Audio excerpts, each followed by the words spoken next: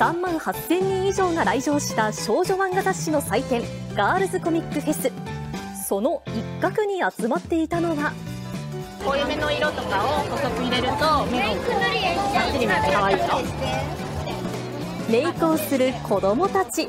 今年から初めて人気コスメが体験できるブースが設置され、スタッフのサポートのもと、自由にメイクを楽しんでいました。子供たちに普段からメイクをしているのか聞いてみると、お出かけの時とか友達と遊ぶ時によくします。お母さんとかにやる時の方が多い。あやってもらう？アイシャドウとアイライナーとチークをしてます。どういうところで知るんですか？メイクの方法とか。あ TikTok とか体験ブースの設置に賛同した化粧品メーカーは、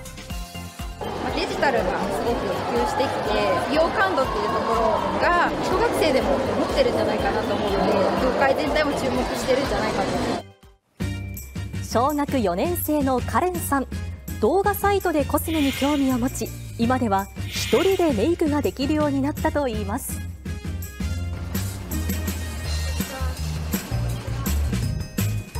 自宅に伺い、普段どんなコスメを使っているのか見せてもらいました。でここがファンででここが下地ここがパウダーここはアイシャドウ系お母さんよりも多いというコスメの数々。娘がメイクをすることについて、お母さんは。私がメイクを始めたのは中学生になってからなので小学生の頃はメイクのことは考えたこともなかったですね。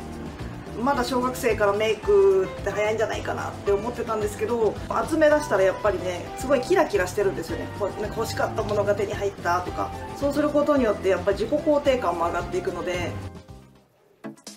小学生がメイクをすることについては、様々な意見が上がっています。時代が時代なのかなと思って別に悪いことじゃないかなとは思ってます。ファンデーションはちょっとなんかあれ、ちょっと抵抗ありますけど、目とかやるのは全然可愛いかなと。早いですねまだね。まだ小学校で化粧って。お肌がねせっかく綺麗な時なのになんか余計に何か荒れたりとかしちゃわないかなっていう。